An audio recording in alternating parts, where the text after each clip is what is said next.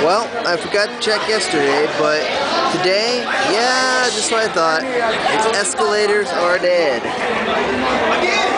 happens every year. The weight and the stuff that people like have under their feet and junk has a tendency to uh, break the escalator.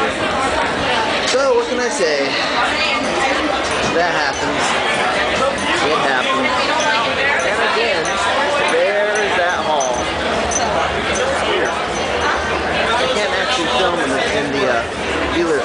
Yeah. Broken escalators.